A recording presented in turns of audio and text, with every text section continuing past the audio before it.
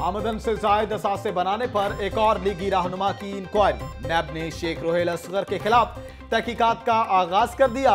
रोहेल असगर ने गुजश्ता हफ़्ते पेश होकर अपना बयान रिकॉर्ड करवा दिया। तफ्तीशी टीम ने सवालनामा देकर जवाब तलब कर लिया। नून लीग की अहम रहनुमा इश्तिहारी करार। सबक विफाकी वज़ीर तहमीना दौलताना को पुलिस ने इश्तहारी करार दे दिया। तहमीना दौलताना के खिलाफ थाना किला गुजर सिंह में मुकदमा दर्ज। अलीम खान के जुडिशियल रिमांड में नौ रोज की तोसी। तहकीकत मुकम्मल हुई या नहीं? अदालत का तफ्तीशी अफसर से सवाल। अलीम खान 1500 एकड़ अराजी की तफसील बताने में नाकाम रहे। तहकीकत जारी है, मजीद वक्त दरकार है। तफ्तीशी अफसर का जवाब मजीद वक्त जाया न करें। अदालत की नैब के तफ्तीशी अफसर को हिदायत। आमदन से जायद सासाजात केस में अलीम खान की पेशी। एहतसाब अदालत के बाहर कारकुनों की नारेबाजी। शुएब सदीकी कहते हैं, नैब सबूत पेश करने में नाकाम रहा। अलीम खान कल हाईकोर्ट से जमानत पर रिहा हो जाएँगे।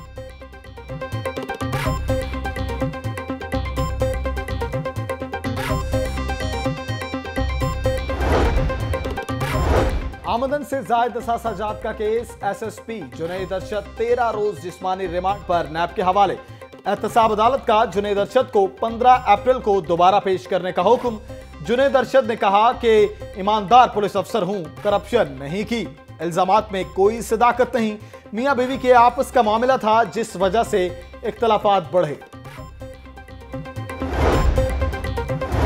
अदाकारा मीरा फ़िल्म सोनी माहिवाल की शूटिंग के लिए तैयार। अदाकारा मीरा ने सिविल कोर्ट में फ़िल्म मुकम्मल कराने की यकीन दहानी करा दी। मीरा की यकीन दहानी पर अदालत ने दरखास्त निपटा दी।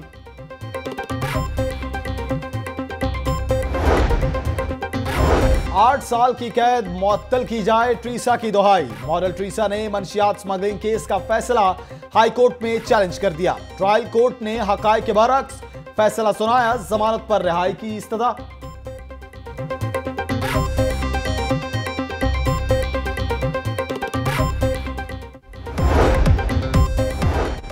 और जलानी पाक फूलों की मैग से मोहतर रंग बिरंगे फूल, शहरियों की तवज्जो के मरकज शहरियों की गहरी दिलचस्पी खुशनुमा फूलों से लुत्फानंदोज होने लगे।